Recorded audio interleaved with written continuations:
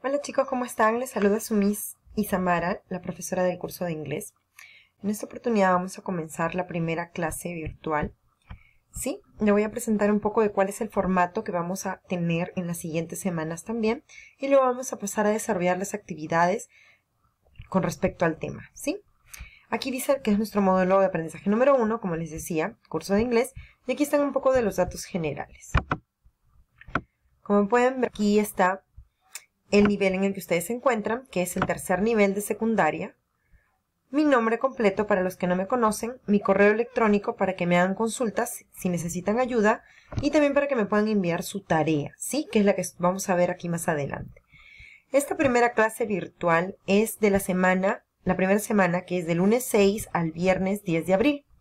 Y la fecha de la tarea va a ser entregada, se lo vamos a estar informando con su tutor, ¿ok? El tema que vamos a tocar hoy es reflexive pronouns. Por otro lado, la justificación de por qué se está dando las clases virtuales también está aquí. Es importante saber que estas clases virtuales se están dando por el tema de evitar la propagación del coronavirus, el COVID-19, ¿sí? Yo sé que muchos de ustedes lo saben, igual es importante que conversemos siempre con respecto de ello. Por otro lado, en el punto número 4 y número 5 podemos ver el contenido específico, que es, en tu caso sería que domines los reflexive pronouns, vamos a ver más adelante cuáles son, y que los puedas usar adecuadamente. Que los puedas usar adecuadamente. Ya está. En el punto 5 vamos a ver las actividades que vamos a tocar en el transcurso de toda este, esta clase, ¿sí? Las actividades que vas a realizar son leer, aprender el grammar, completar, corregir, seleccionar. Vamos a usar fichas y cuadros. Por otro lado, el vocabulario que vamos a aprender es, por ejemplo, los reflexive pronouns, que son estos de aquí myself, yourself, herself, himself, itself, ourselves, yourselves, themselves. Y por otro lado, las actividades que vamos a tener son cuatro puntos importantes, ¿ok? Solo son cuatro. La primera es leer y escribir. La segunda es estudiar el cuadro y escoger respuestas correctas. La tercera actividad es corregir los errores. Y la cuarta actividad es completar con los reflexive pronouns, que son estos de aquí. Ok. Ahora vamos a pasar a la hoja de trabajo para ti, ¿ok? Una vez que tengas esta hoja vas a poder poner aquí tus nombres y apellidos, vas a poner aquí el grado y el nivel en el que te encuentras, que es tercer nivel de secundaria, el curso que es English, inglés, el mi nombre, la profesora del curso, Isamara Deza, y aquí la semana del 6 al 10 de abril. Luego pasas a desarrollar las actividades. ¿sí? La actividad número uno, en el punto número uno dice Read and write if the sentences are true or false. Lee y escribe si las oraciones son verdaderas o falsas. Aquí puedes ver una imagen y ves una conversación. La conversación dice, es entre Linda y Amanda, ¿ok? En el apartado A, que es este de aquí, Linda dice, What What are you doing, Amanda? ¿Qué estás haciendo, Amanda? Y Amanda dice, I'm fixing the stops on roller. O sea, yo estoy arreglando mis, yo estoy arreglando mis patines, ¿sí? Linda dice, do you want help? ¿Quieres que te ayude? I fixed the stops on my roller blades last weekend. Como te decía, ¿quieres que te ayude? Ella le dice, ¿no? Yo arreglé las, los frenos de mis patines el fin de semana pasado. Amanda le dice, thanks, Linda, but I can't do it myself. Gracias, Linda, pero yo puedo hacer esto, y aquí está el reflexive pronouns, myself, por mí misma. Y Linda le dice, do you know how to do it? ¿Tú sabes cómo hacer eso? Y Amanda le dice, Well, this is the first time. Bueno, esta es la primera vez. Linda le dice, Be careful, you can hurt yourself fixing the stops. O sea, le dice, eh, hazlo con cuidado, tú puedes quizá dañarte a ti misma arreglando los frenos. Aquí hay segundo reflexivo pronouns, yourself, por ti misma, ¿ok? Luego Amanda le dice, Don't worry, I can do it. No te preocupes, yo puedo hacerlo. Y Linda le dice, a few minutes later, unos minutos después, Amanda dice, ouch. O sea, muestra un dolor. Y Linda le dice, what's the matter? ¿Cuál es el problema? ¿Qué pasó? Amanda le dice, I hurt myself. Es como me dañé a mí misma. I cut my finger. Corté mi dedo. I guess I need your help. Se dañó su dedo y dice, I guess, I guess I need your help. Es como supongo que necesito tu ayuda. Y Linda le dice, okay, no problem. We can do it together. You have to hold the book like, like this. Ok, no, te, no hay problema. Nosotras podemos hacerlo juntas. Tú tienes que sostener el libro un momento. Y ahí termina nuestra conversación. Tú puedes ponerle pausa y repetirla para escucharla, ¿ok? Luego pones true or false, verdadero o falso. Y lees las preguntas. La primera pregunta dice, Amanda is cleaning the stops on her rollerblades. Amanda está limpiando los frenos de sus patines. ¿Es verdadero o falso? True or false. Si consideras que es true, pones la T, T, y si consideras que es false, pones la F. Linda wants to help Amanda. Linda quiere ayudar a Amanda. ¿Verdadero o falso? Recuerda que puedes ver el video y ver nuestra conversación que está traducida. Amanda knows how to fix the stops. Amanda sabe cómo reparar los frenos. ¿Es cierto o es falso? Amanda asks Linda to help her before she cuts her finger. Amanda le pregunta a Linda si le desea ayudar antes de que ella se cortara el dedo, también respondes viendo la conversación. ¿Sí? Lo pones aquí. True or false.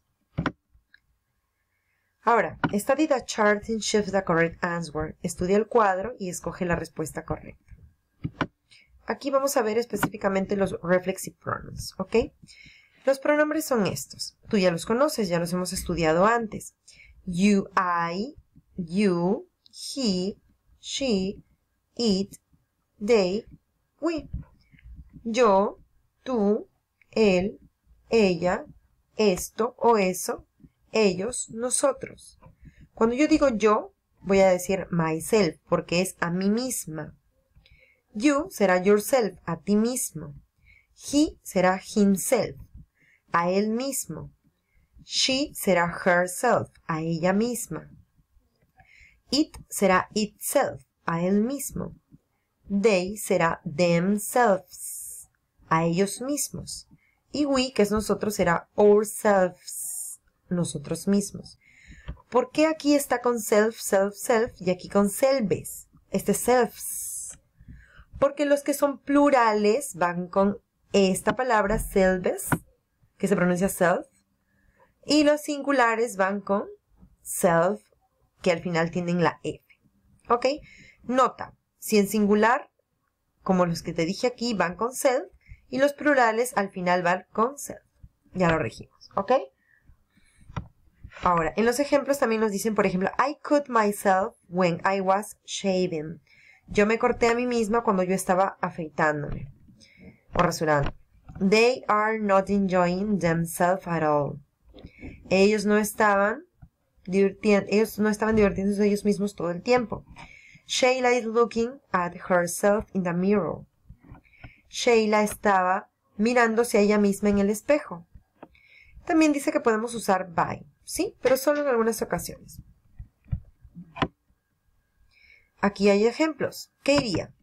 My mother does the housework herself o himself.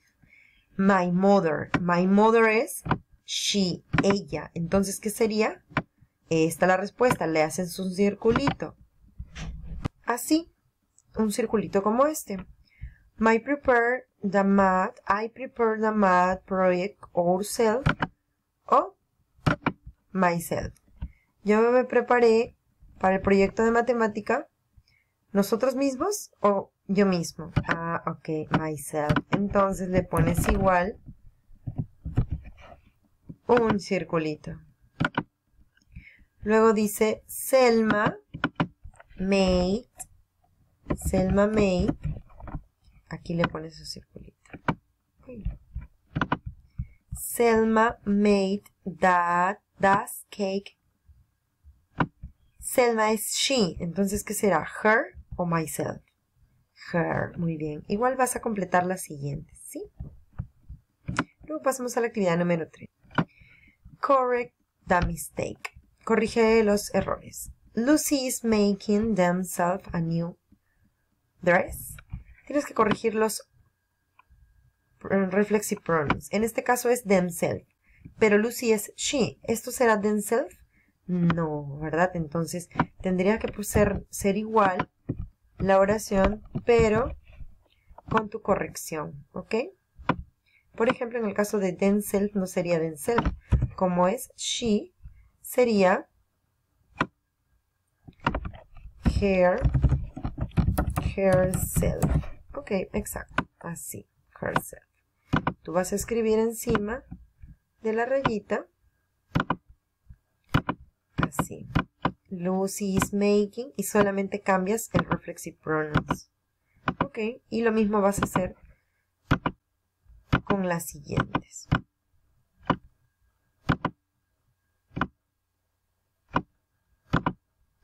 Listo. ¿Ves? Así vas a hacer aquí, le cambias el reflexive pronouns por el correcto. Myself no es aquí porque este es you. Aquí es I, entonces no sería him. Así le vas a cambiar los reflexive pronouns. Vamos a la actividad número 4, que es la última. ¿sí? Fill in with reflexive pronouns. Completa los reflexive pronouns. Sencillo, igual que el anterior. Tú ves la imagen y dices, be more careful, sé más cuidadoso, so you won't hurt. Si tú no quieres dañarte a ti mismo. ¿Qué iría aquí? Ah, ahí iría, listo, así, yourself. ¿Por qué yourself? Porque este you está aquí, su reflexive pronouns, como en el cuadro en el que vimos arriba, ¿cuál es? Es yourself. Si no te acuerdas, tú vas a tu cuadro y ves aquí cuál va con cuál. ¿Cuál pronombre va con su reflexive pronouns? Ok, y así tamaño.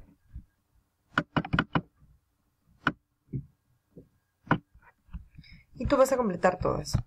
Por ejemplo, el segundo, el cuadro número 2. Aquí está.